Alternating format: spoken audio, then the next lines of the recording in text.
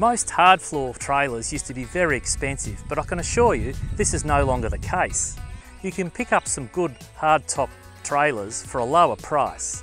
However, only your own research will determine whether in fact it's a good buy or not.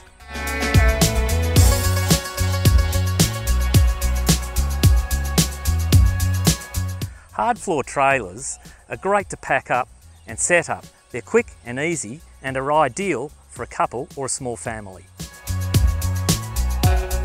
Key benefits of the hard floor trailer are easy to pack up, easy to set up, and you can put your bulk items on the roof, and let's face it, they're fantastic to look at.